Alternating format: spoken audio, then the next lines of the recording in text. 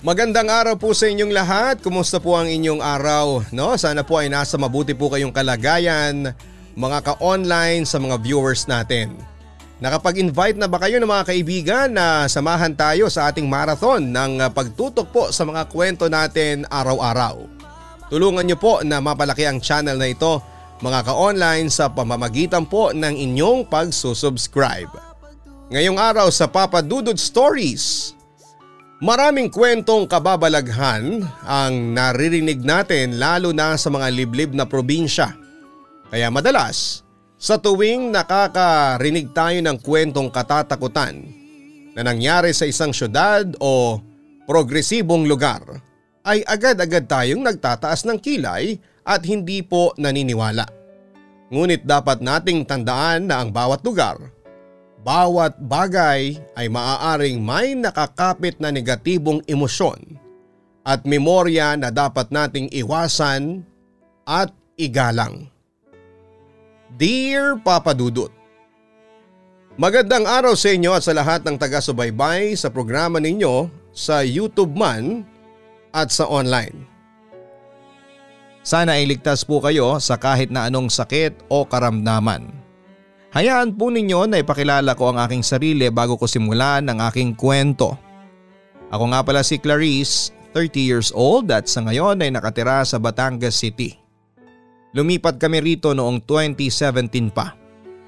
Meron akong dalawang anak na babae na ang isa ay 7 years old habang ang bunso naman ay 5 years old.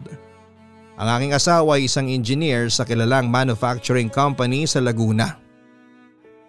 Umiikot ang mundo ko sa pag-asikaso sa dalawa kong anak at mapagmahal na mister. Siyempre sa pagpapaganda na rin ng aming bahay. Isa kasi ako sa mga nabubudol sa mga tips sa pagpapaganda ng bahay sa isang Facebook group na kasali ako papadudot. Masasabi ko rin na maginhawa ang aming buhay at iyon ay dahil sa sipag ng aking asawa sa pagtatrabaho. Ngunit ang ikakwento ko ay hindi nangyari sa bahay namin ngayon kundi sa bahay na inalisan namin papadudot sa Kalamba, Laguna. 23 years old ako noong nabuntis ako ng asawa ko na noon ay boyfriend ko pa lamang na si Robbie. Nagtrabaho na siya noon habang ako ay iginagapang pa ng aking mga magulang para makatapos sa kolehiyo. Sobrang disappoint ang mga magulang ko sa akin dahil sa aking pagkakabuntis.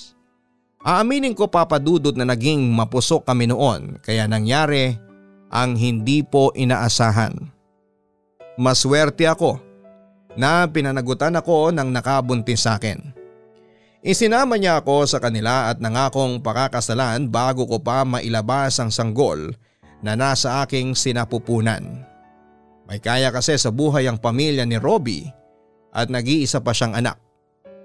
Tinupad naman niya ang pangakong kasal papadudot. Makalipas nga po ang tatlong buwan ay pinakasalan ako ni Robbie sa simbahan. Hindi man ganoon kagarbo ay masaya ako kasi naikasal ako sa lalaking mahal ko. Naging maganda naman ang paninirahan namin ni Robbie sa parents niya. Wala akong masasabi sa kanila papadudot. Mabait ang mama at papa niya na sobra akong inaasikaso. Paminsan-minsan ay dinadalaw na lamang ako roon ng aking pamilya. Hanggang sa mga anak na ako sa panganay namin na itatago ko na lamang sa pangalang Krisha. Nang may panganak si Krisha ay inakala ko na habang buhay na kaming titira sa parents ni Robbie. Wala kasing nababanggit si Robbie sa akin na may balak siya na bumukod kami. Kung ako po ang tatanungin ay syempre gusto ko na bumukod kami at magkaroon ng sariling bahay na matatawag namin na sa amin. Mabait man ang parents ni Robbie ay nangangarap pa rin ako na meron akong isang bahay na masasabi kong meron akong karapatan. Ayoko naman na i-pressure si Robbie papadudot. Alam ko na sobrang pagod niya sa pagtatrabaho para lang maibigay ang pangangailangan naming mag-iina. Kaya sinasarili ko lamang ang pangarap ko na magkaroon kami ng bahay. Kaya sobra akong na-surprise nang dumating ang aming first wedding anniversary. Dinala niya ako sa Calamba, Laguna at doon ay ipinakita niya ang isang lupa na may ginibang bahay at sa likuran ay may isang napakalaki at malagong puno ng akasya. Uy, ano to? Bakit mo ko dinala dito? Akala ko ba ay magde-date tayo? Naluluha kong tanong kay Robbie. Sa sandaling yon ay meron na akong ideya. Siyempre gusto ko na sa kanya mismo manggaling at ayokong mag-assume. Sa atin ang lupang yan, love. Binili ko ng hindi mo alam. Fully paid na yan at bahay na lang ang itatayo. May lumang bahay kasing nakatayo riyan kaya pinagiba ko na. Alam ko na gusto mo na kapag nagkaroon tayo ng bahay ay ang design mo ang masusunod. Akala mo siguro ay hindi ko na-feel na gusto mo na Bumukod na tayo. Ang sabi ni Robbie habang nakangiti sa akin. Papadudot ng araw na yon. Feeling ko ay ako na ang pinakamasayang misis sa buong mundo. Hindi ko kasi akalain na napapansin ni Robbie ang pangarap ko kahit hindi ko sinasabi sa kanya. Isang linggo lang ang nakalipas ay magkatulong na kami ni Robbie sa pag-aasikaso sa pagpapatayo ng aming dream house. 300 square meters ang lupa na nabili niya kaya malaki-laki rin. Madalas ay ako ang mag-isang tumitingin sa mga gumagawa sa aming bahay. Kapansin-pansin ang malaking puno ng akasya roon. Noong una ay balak ko siyang ipaputol pero biglang nagbago ang isip ko nang hindi ko alam. Sinabi ko sa aking asawa na gusto kong manatili roon ang akasya tree. Pumayag naman siya at sinabi niyang maganda nga ang puno ng akasya na manatili doon. Para merong masarap na pahingahan. Kaya habang unti-unting nabubuo ang aming bahay ay parang naging piping saksi ang puno ng akasya. Sa bawat improvement na nangyayari sa tinatayong bahay namin ni Robbie. Mabilis gumawa ang mga trabahador na kinuha ni Robbie kaya makalipas ang isang taon ay nakalipat na kami. Pero hindi pa fully furnished ang bahay. Marami pang dapat ayusin at idagdag pero pwede nang tirhan. Two-story yon na merong tatlong kwarto sa itaas. Ako ang hands-on sa pagpili ng kulay at design sa bawat kwarto. Lalo na sa mga gamit na ilalagay. Tuwang-tuwa ako dahil sa wakas ay natupad na ang pangarap ko na magkaroon kami ng sariling bahay. O nga pala papadudot nang lumipat kami sa bahay namin sa Kalamba ay buntis na ako sa pangalawa kong anak. Medyo malaki na ang tiyan ko noon. Bago kami sa lugar na yon pero hindi naman nakakatakot. Maraming bahayan at kabilang pader lang ang mga kapitbahay. Maraming tao sa labas, palagi lalo na ang mga bata. Sa gabi ay maliwanag din lahat, lahat ng kanto ay merong poste ng ilaw. Malapit din ang lugar namin sa mga mall at national highway kaya masasabi ko na hindi nakakatakot. Isang gabi ay umuwi si Robbie mula sa trabaho na may dalang duyan na gawa sa matibay na net. Rope net yata ang tawag sa ganon. Yung malapad tapos eh pwede kang makahiga. Maganda itong ilagay sa akasya sa likod oh para meron kayong tambayan ni Krisha kapag tanghali. Ang sabi pa ni Robbie nang maibigay niya sa akin ang duyan.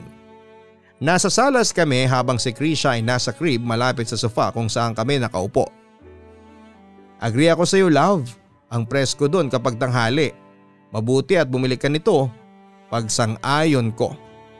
Saan mo pala ito nabili? Sa mall.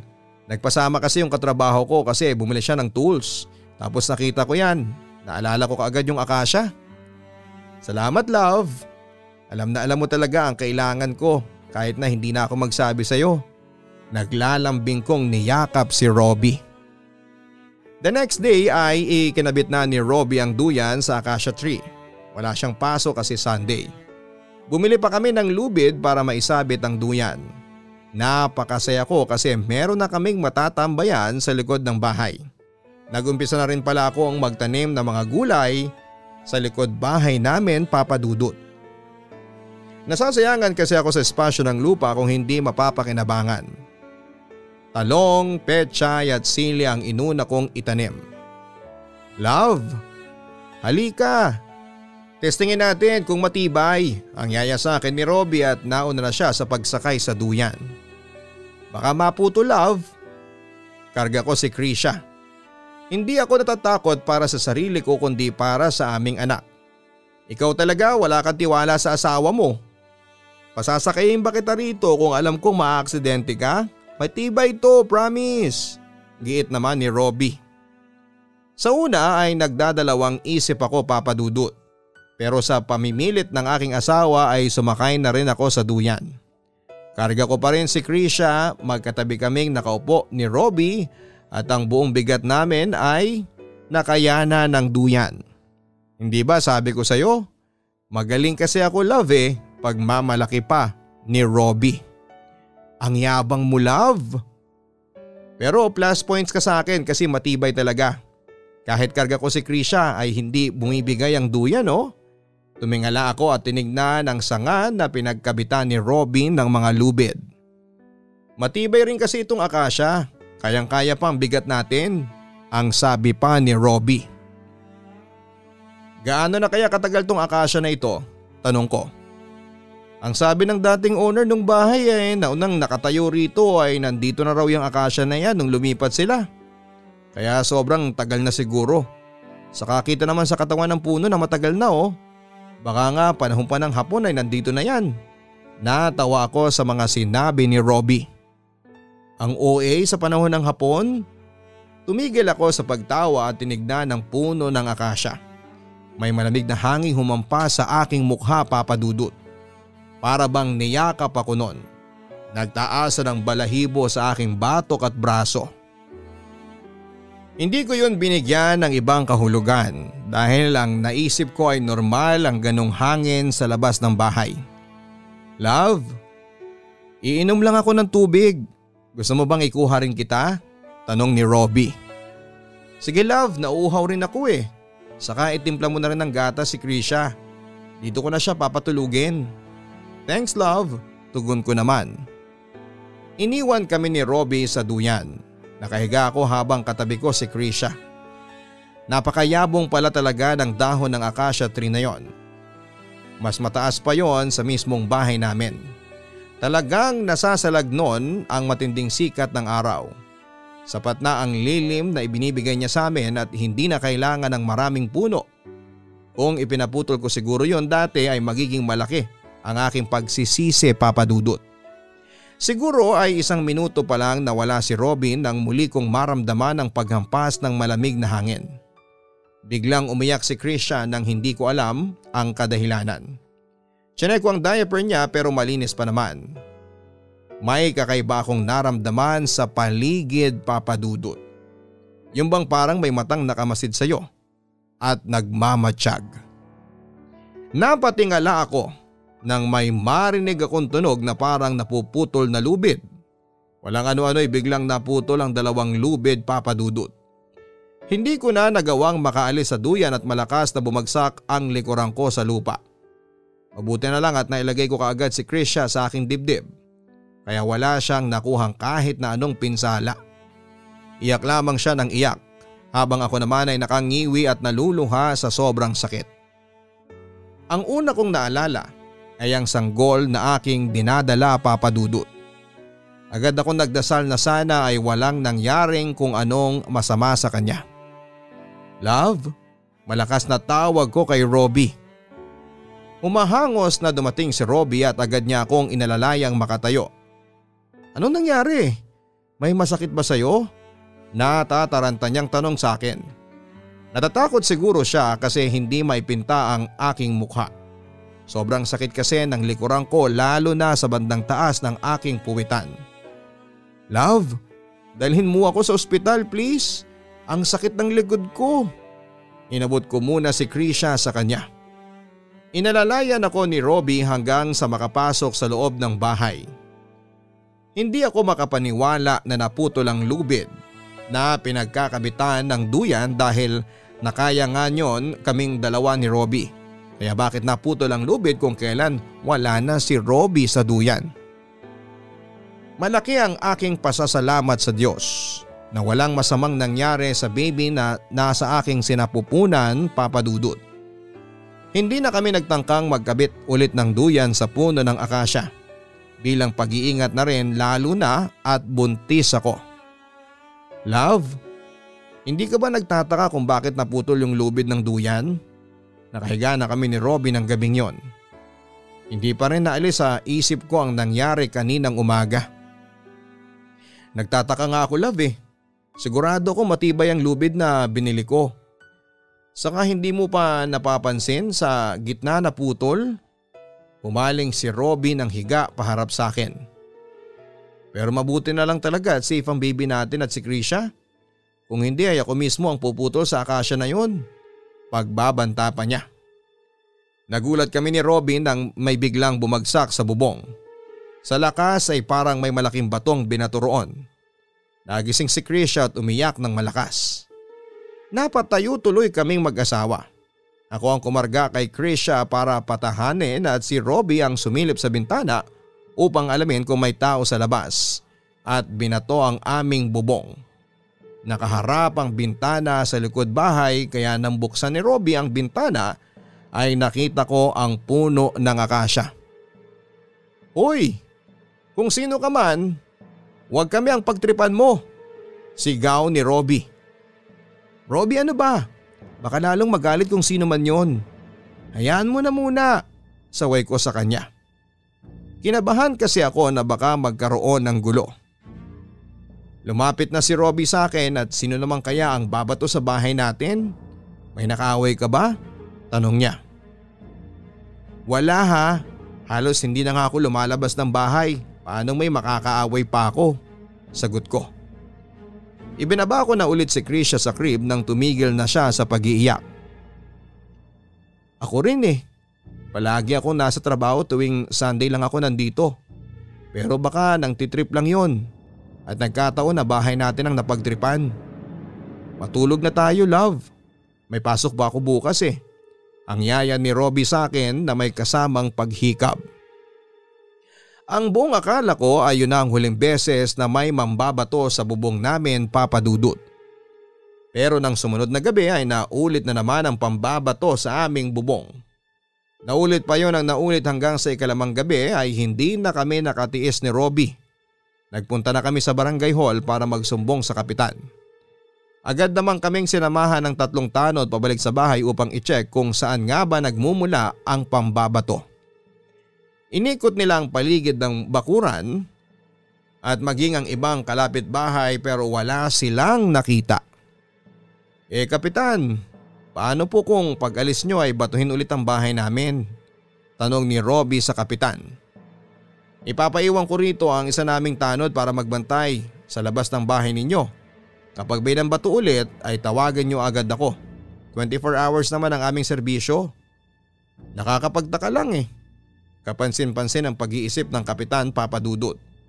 Hindi ko alam kung tama ako sa aking napansin pero parang hindi siya naniniwala sa aming sumbong. Ang alin po? Hindi ko na napigilan ang sariling sumali sa pag-uusap nila. Ang sinasabi ninyo na may nambabato. Alam nyo kahit sampung taon pa lang ako sa lugar na ito, eh wala naman akong nabalitaan na merong nambabato. Mabait ang mga kabarangay natin at sigurado ako na kung merong mang mambabato sa inyo ay hindi taga rito. Maaring taga ibang lugar yon, sagot naman ni Kapitan. Nakaugalian ko na ang magwali sa paligid ng aming bahay tuwing umaga pagkaalis ni Robbie Papadudut para pumunta sa trabaho. Medyo marami kasing nalalaglag ng dahon ng akasya tuwing gabi at nililipad ng hangin. Kumakalat yon hanggang sa harapan ng bahay. Mabuti at hindi pasaway si Krisha kapag umaga. Inilalagay ko lang siya sa crib at naglalaro na siya ng mag-isa. Para bang alam na niya na marami akong ginagawa tuwing umaga kaya behave lamang siya. Habang nagwawalis ako ay napansin ko ang nakatirang babae sa bahay kaliwa ng aming bahay. Medyo may edad na siya. Siguro ay nasa 50 years old na siya. May clean na kulot ang buhok niya may tamang pangangatawan at madalas ay maluwag na duster ang suot kagaya ng umaga na yon. Hindi kataasan ng pader na nakapaligid sa aming bakuran. Hanggang dibdib ko lamang yon. May nakadugtong na mga rehas ng bakal sa itaas ng pader kaya nakikita ko talaga ang aming kapitbahay na nakatingin sa akin. Good morning po Nay. Hindi na ako nakatiis na batiin siya at baka meron siyang sasabihin. Nihiya siguro na unang magsalita. Lumapit ang babae sa may pader. Narinig ko kagabi na pinapunta mo sa bahay ninyo si nakapitan. Tama ba? Tanong niya. Opo, may nambato po kasi sa bubong namin. Limang gabi na po na sunod-sunod. Sagot ko. Parang malalaking bato rin ba? Pero wala kayong nakikitang bato sa bubong o paligid ng bahay ninyo? Pabulong na pagsasalita ng babae. Para bang natatakot siya na may makarinig sa kanya kahit kaming dalawa lang ang tao sa paligid. Paano niyo po nalaman? Nagtataka kong tanong. Yung nakatira sa bahay ninyo na giniba ninyo, ganyan din ang nangyari sa kanila. Baka nga kaya nila ibinenta yung lupa na yan ay dahil doon. May nginuso ang babae. Sinundan ko ang inuso niya papadudot at kinilabutan ako nang malaman ko ng acacia tree sa likod ng bahay namin ang tinutukoy niya. Ang akasya? Paninigurado ko papadudot. Oo ang puno ng akasya. Pagkumpirma niya. Ayaw niya ang sinasabihan siya ng masama o pinakikialaman siya. Nagagalit ang nakatira sa puno. Mas lalo akong kinilabutan. Lumaki kasi ako sa probinsya na nakikinig ang kwento tungkol sa mga elemento na nakatira sa mga puno kagaya ng kapre, duwende at maligno Nung bata ako ay takot na takot ako sa ganoon pero habang lumalaki na ako at nagkakaroon ng isip ay unti-unting nawawala ang paniniwala ko sa mga paranormal na mga bagay dahil hindi naman ako nakakaramdam o nakakakita. Nay naman tinatakot niyo ko eh. Idinaan ko sa pagtawa ang takot ko. Nagsasabi ako ng totoo. Wala kasi yung putulin dati ng may-ari ng bahay. Narinig siya ng nakatira sa akasya kaya nagalit. Gabi-gabi na silang binabato. Tapos yung asawa niya ay nabagsakan ng malaking sanga ng akasya sa ulo. Halos isang buwan ring na comatose. Ilang beses na niyang ibinenta pero walang gustong bumili na taga rito kasi alam ng karamihan rito ang kwento ng akasya. May takot sa mga mata ng babae habang kinagkwento ang mga yon sa akin. Ano po bang meron sa akasya, Nay? Ano ang nakatira sa akasya? Naku-curious kong tanong. Ang inaasahan kong isasagot niya sa akin ay kapre o tikbalang. May white lady sa akasya? Siyang nakatira sa puno sa lupa ninyo. Ang sabi sa akin ng aking nanay ay nagpakamatay ang babaeng yon sa puno ng akasya. Nagbigti siya sa akasya kaya hanggang ngayon ay naroroon siya. Kung hindi ako nagkakamali ay hindi pinanagutan ng nakabuntis sa kanya yung babae kaya nagpakamatay. Itinuring niyang bahay ang akasya kaya lahat na nagtatakang putuling yon o makialam ay napapahamak. Kaya ako ako sa inyo, hayaan niyo na lang yung punong yan. Huwag niyong gagalawin. Mas maganda kung hindi na kayo lalapit sa kanya. Namimilog ang mata ng babae, palinga-linga pa siya papadudot. Sa sandaling yon ay hindi ko alam kung maniniwala ako sa kanya. Kaya pag uwi ni Robbie kinagabihan ay sinabi ko ang ikinuwento sa akin ng kapitbahay namin tungkol sa Akasha. White lady? Hindi ba sa Balete Drive lang yon? Natatawang biro ni Robbie. Kumakain kami ng hapunan habang si Krisha ay nasa crib sa salas. Seryoso ako love. Ang sabi ng kapitbahay natin ay may nagbigting babae sa akasya sa likod. Hindi kaya naputol yung puno ay dahil ayaw niya nang nilalagyan ng ganon yung puno. Doon kasi siya nakatira. Napatulala ako sa pag-iisip sa sarili kong tanong. Alam mo love, tinatakot mo lang ang sarili mo. Nasa city tayo at walang white lady o kahit anong maligno sa ganitong lugar. Saka malay ba natin kung tinatakot lang tayo ng nakausap mo? Baka gusto nilang umalis tayo dito. Sige nga, sabihin mo kung bakit nila tayo gustong umalis. Ang hamon ko sa aking asawa. Hindi agad nakasagot si Robbie. Matagal siyang nag-isip. Baka gusto nilang bilhin itong lupa natin tapos eh naunahan natin sila. Ewan ko hindi ako sure. Ang sigurado lang ako ay walang white lady sa Akasha. Hindi totoo ang multong-multong yan ha. Kung gusto mo, kung natatakot ka talaga sa Akasha ay ipapaputol ko yan agad-agad. Pagkasabi ni Robin noon ay biglang umiyak si Krisha. Nagulat kami at sabay kaming napatakbo sa salas. Parang umakyat ang lahat ng dugo ko sa ulo nang may makita akong babaeng nakasuot na puting damit na puno ng putik at nakatayo sa tabi ng crib. Malabo ang mukha niya na parang binura ang kanyang mga mata, ilong at bibig. Nakayuko siya na parang nakatingin kay Krisha. Ang buhok niya ay umaabot sa bewang niya. Para siyang usok na hugis babae. Ganon ang tingin ko sa kanya papadudot. Ang hirap pong ipaliwanag na ang kaanyuan niya. Sa sobrang gulat ko ay hindi ako nakagalaw. Ang asawa ko ang kumuha kay Krisha, kinarga niya ito at isinayaw-sayaw. Sa pagkurap ko, nang isa ay nawala na ang babae. Ganon siya kabilis na nawala sa aking paningin. Love hoy! Ang sabi ni Robbie sa akin. Ikinurap ko ng maraming beses ang aking mga mata. May babae? Hindi mo ba nakita? Turo ko sa crib. Hindi pa rin humuhupa ang pagtaas ng aking balahibo sa aking braso. Anong babae? Wala naman ah. Nilingon ni Robbie ang crib. Ayan oh, masyado ka naniniwala sa kwento ng kapitbahay natin. Kung ano-ano tuloy ang nakikita mo. May babae talaga love. Nakita ko siya. Nakatayo sa tabi ng crib ni Krisha. Parang tinitingnan niya si Krisha. Hindi kaya gusto niyang kunin ang anak ko? May takot kong wika. Love, pwede bang tama ng white lady na yan? Buntis ka at hindi maganda na nag-iisip ka ng ganyan. Baka kung ano pang mangyari sa baby natin kapag palagi mo tinatakot ang sarili mo. Yung pambabato sa bubong, paano mo i-explain yun? Sino ang gagawa nun? Kung hindi yung white lady sa Akasha? ang sabi ko. Pinagtitripan lang tayo ng kung sino dyan. Sagot niya na parang naiinis na. Papadudod sa mga sunod-sunod na hindi maipaliwanag na pangyayari ay talagang naniniwala na ako na merong kababalaghan sa puno ng akasya. Napag-isip-isip ko rin na simula nang sinabi ni Robin na puputulin niya ang akasya ay nagsimula ang pambabato sa bahay namin. Tapos kanina sinabi na naman niya na puputulin niya ang akasya ay biglang umiyak naman si Krisha. Hinding hindi maalis sa utak ko ang anyo ng babaeng nakita ko papadudot. Sa tuwing naaalala ko ang tagpong yon ay automatic na nagtataasan ang aking balahibo. Kung noon ay hindi ako naniniwala sa mga multo. Ngayon ay bumalik na ang paniniwala ko sa mga paranormal na bagay.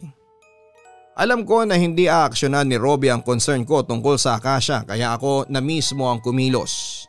Nang sumunod na araw ay nagpunta ako sa simbahan at kinausap ko ang lokal na pare, si Father Jess.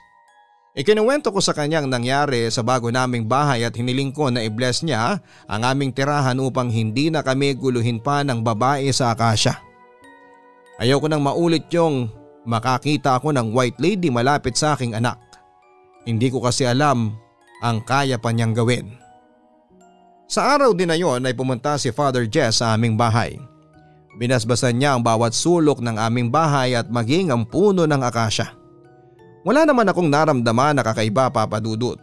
Maliban sa tuwing tumitingin ako sa akasya ay may takot na akong nararamdaman. Dati kasi ay natutuwa akong nakikita yon dahil sa lilim na ibinibigay niya sa amin. Kahit papaano ay nagkaroon ako ng kapanatagan sa loob nang mapabless ko ang aming bahay at mismong kinakatuyuan ng puno ng akasya. Nakalimutan na kasi naming yung gawin sa sobrang excitement na malipatan ang bahay. Ngayon ko napagtanto papadudot na sobrang importante pala talaga ang pagpapabless ng bahay. Lumipas ang isa, dalawa at tatlong araw na wala nang nambabato sa bubong. Hindi na rin umiiyak si Krisha ng walang dahilan. Hindi ko na rin nararamdaman ang presensya ng babae sa tuwing lumalapit ako sa puno ng akasya. Wala na yung parang may nakatingin sa akin. unti-unti nang nawawala ang takot ko. Epektibo nga pala talaga ang ginawa kong pagpapabless dahil naitaboy na noon ng white lady. Nang sabihin ko kay Robbie ang pagpapabless ko sa bahay ay natuwa siya at sa tingin ko ay magiging tahimik na ang buhay namin sa bagong bahay. Pero lahat pala ng iyon ay isang maling akala papadudot. Eksaktong ika-anim na araw simula nang ipabless ko ang bahay ay muli siyang nagparamdam. Ang babae sa puno ng akasya. Nakaugalian kong i-video o picturean si Krisha kapag naglalaro siya o nagsasalita.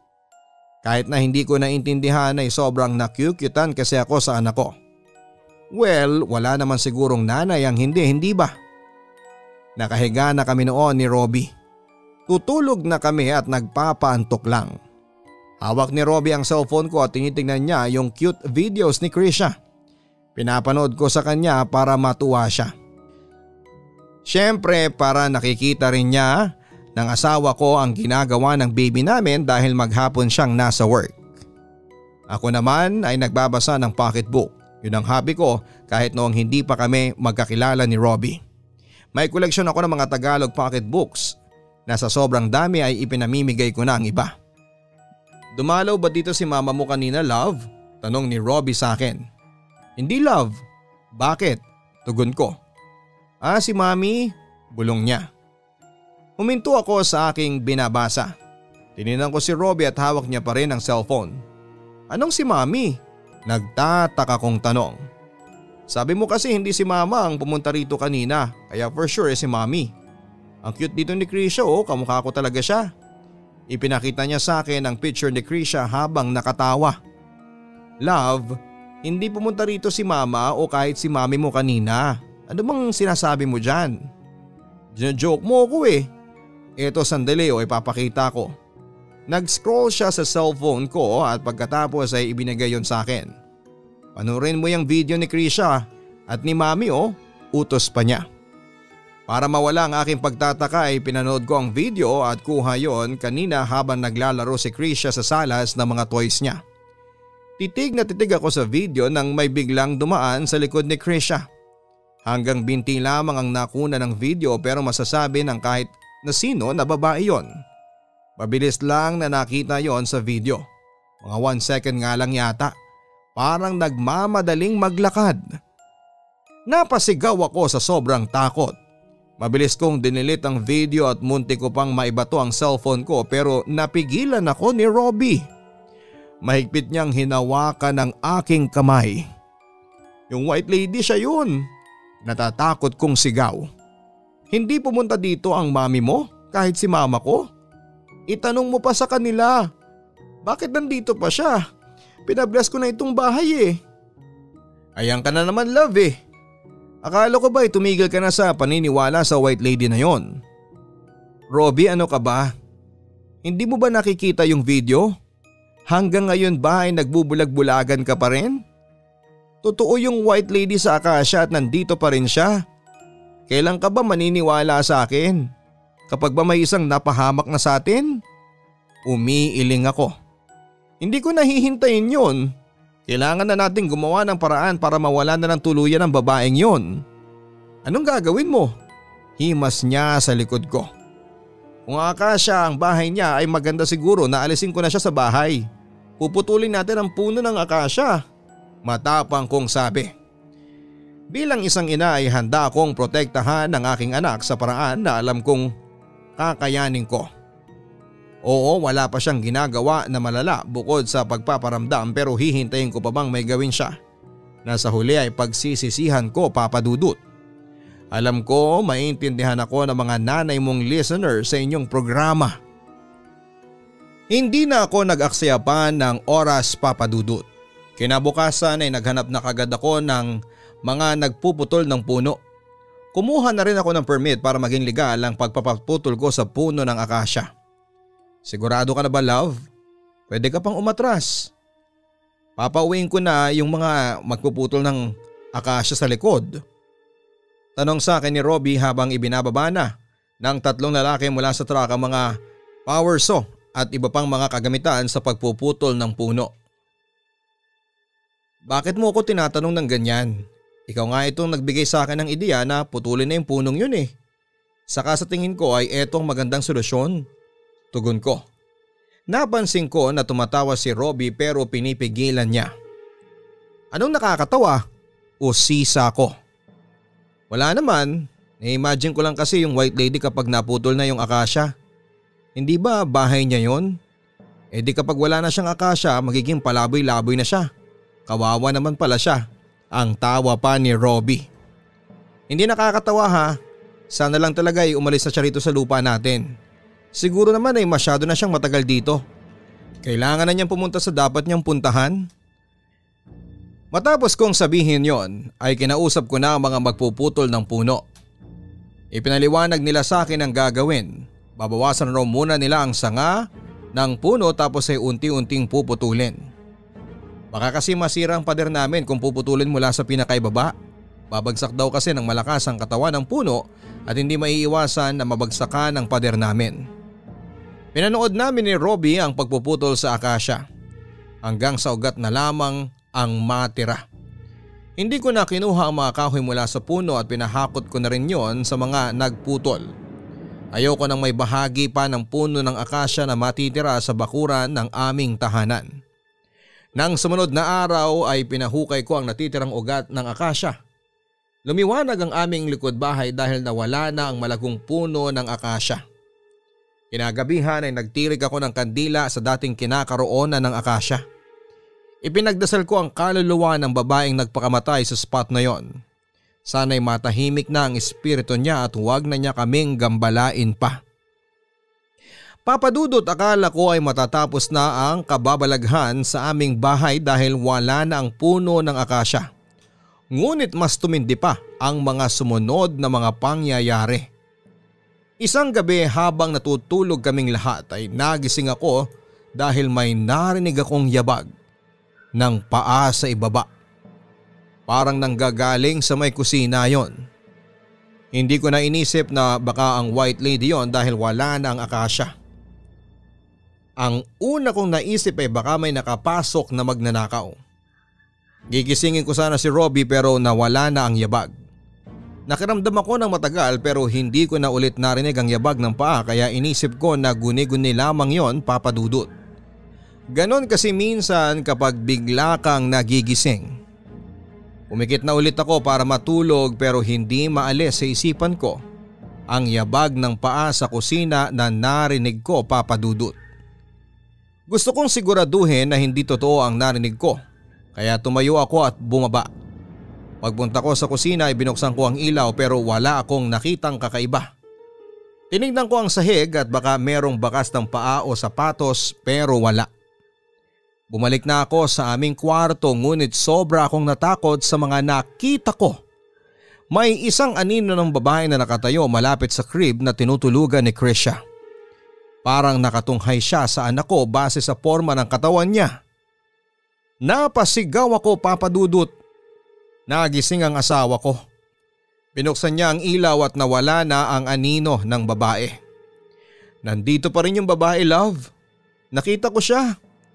Umiiyak na ako sa takot habang buhat si Christian na sa awa ng Diyos ay hindi nagising. Mahimbing pa rin ang tulog niya.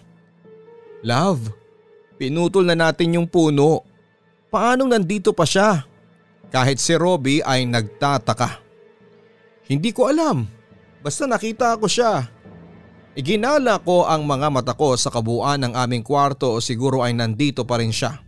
Nakamasid sa amin, bakit palagi kang nasa tabi ng anak ko? Gusto mo ba siyang kunin sa akin dahil nawala na ang anak mo nang magpakamatay ka? Kung yun ang gusto mo, hindi ako papayag. Makakalaban mo ako, matapang kong sigaw. Ano ba Clarice?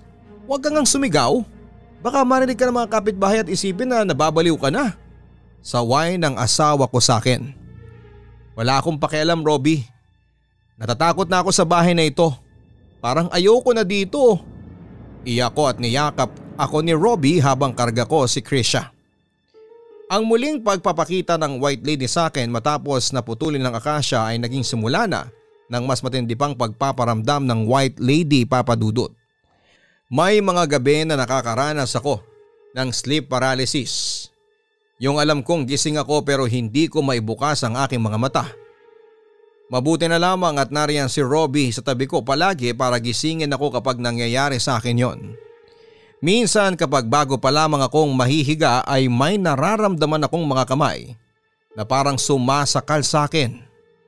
Kailangan ko pang magdasal para mawala ang ganong pakiramdam. Nagumpisa na rin na may mga gamit kaming nawawala tapos ay matatagpuan namin sa ibang bahagi ng bahay.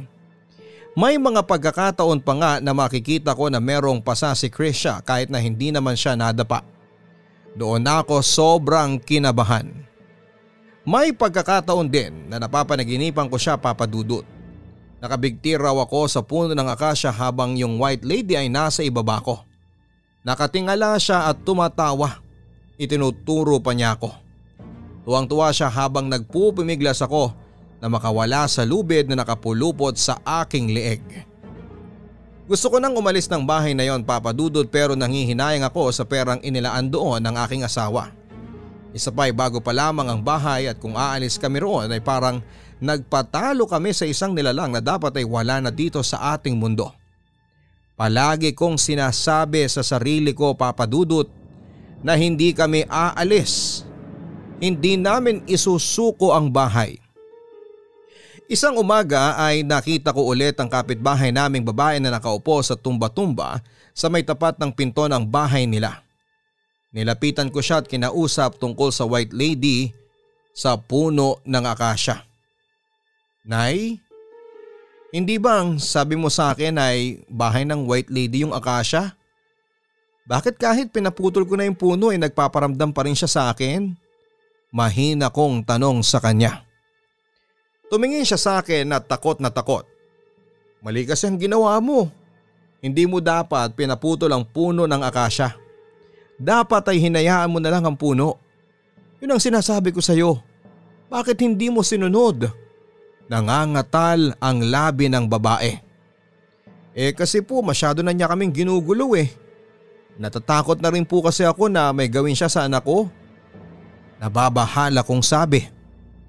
Hindi siya nananakit ng bata. Mahilig lang siya sa bata kaya siguro ay nakikita mo siyang malapit palagi sa anak mo. Pero sigurado ako na hindi niya sasaktan ang anak mo. Kaya bakit mo pinaputol ang puno ng akasya? Titig na titig na ang babae sa akin. Para wala na po siyang tirahan.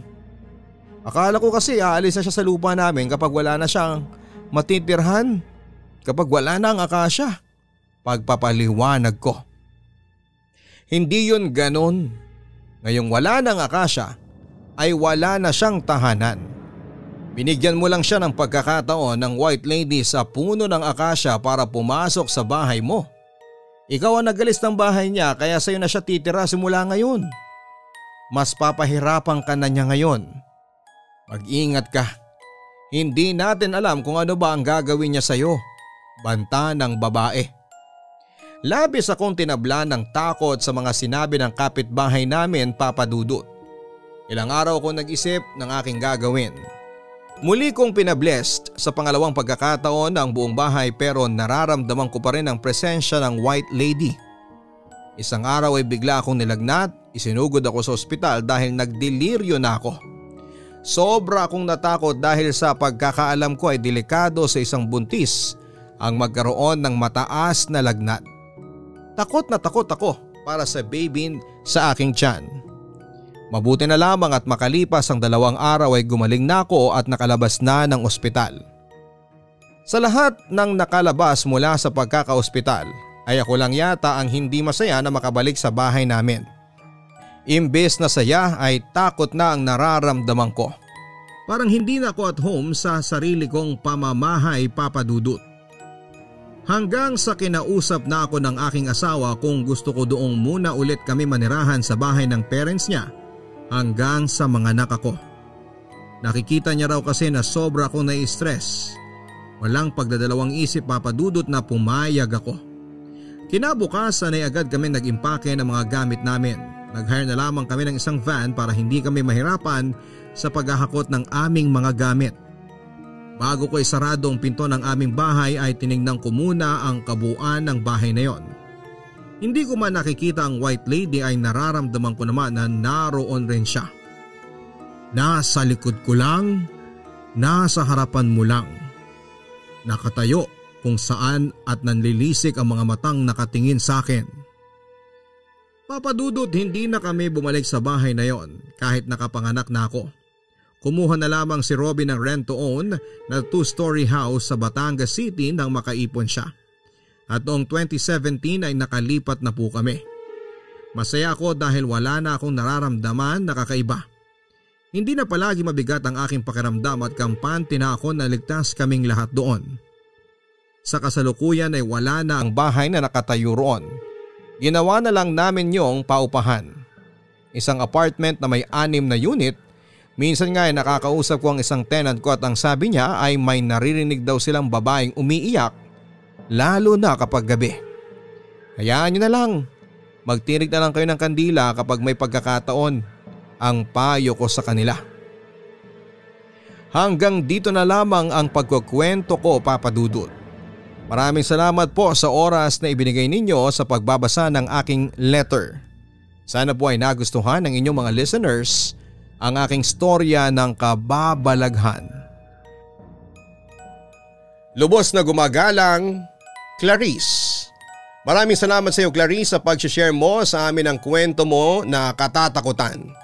Hiling ko na sana ay manatili ang tahimik na buhay na meron kayo ng iyong pamilya lalo na sa inyong pangalawang bahay. Napakaswerte ng dalawa mong anak dahil binayaan sila ng isang ina na kagaya mo na gagawin ng lahat para sa kaligtasan ng kanilang mga anak. Sana lahat ng nanay ay kagaya mo.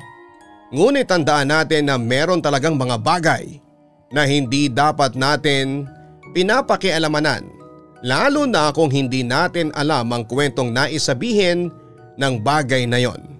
Mga bagay na may matinding kapit sa mga namayapa kaya hindi nila yon kayang iwanan o bitawan.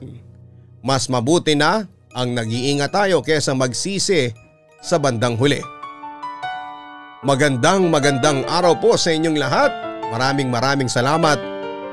Ako po si Papa Dudut sa Papa Dudut Stories. Ang buhay ay mahiwaga. Laging may lungkot at saya.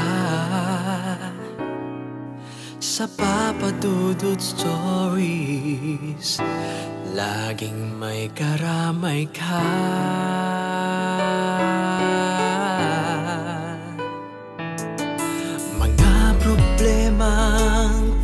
kay bigat Dito ay pakikinggan ka. Papadudod stories Kami ay iyong kasama. Dito sa